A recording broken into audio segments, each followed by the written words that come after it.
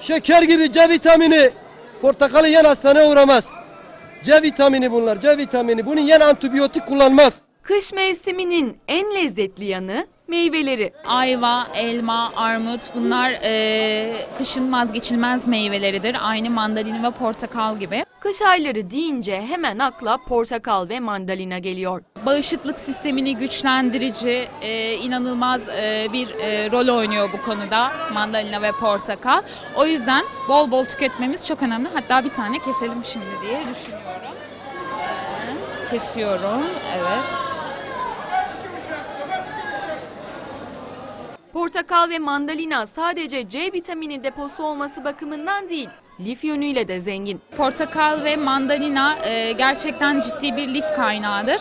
E, şurada görmüş olduğumuz şu beyaz kısımları mümkün mertebe kabuğunu daha ince soyarak e, lifli kısımlarını bol bol tüketelim. Bağırsak hareketlerimiz için e, meyvelerden aldığımız lifler çok önemli. Atasözü ve deyimlerin baş tacı ayva, bakın yiyene neler sağlıyor. İnsana zindelik verir. E, hatta sabah kahvaltılarından sonra bir iki dilim ayva güne zinde başlamamızı e, sağlar. Bunun dışında ayvanın çekirdeği çok önemli. Pektin içeriğinden dolayı ishali önler ve bronşit, e, öksürük gibi e, sıkıntılar yaşadığımız zaman ayvanın çekirdeğini kaynatıp suyunu içebiliriz. Adı türkülerde geçen elmanın yararları ise saymakla bitmiyor. A ve B e, vitaminlerini içerir.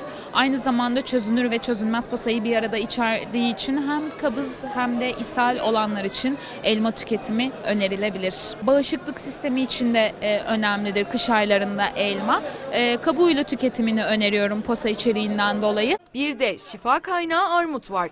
Diyetisyen Sevde İnce Arseven tıpkı elma gibi armudun da kabuğuyla tüketilmesi gerektiğini vurguladı. A, B grubu ve C vitaminlerini içerir. Bağışıklık sistemi açısından da çok çok e, önemli meyveler arasında yer alıyor. E, armutu da aynı elma gibi kabuğuyla tüketimini öneriyorum. Tabii kabuğuyla tükettiğimiz meyveleri e, çok iyi yıkamalıyız, bolca yıkamalıyız. Mandalin bedava, bedava, bedava.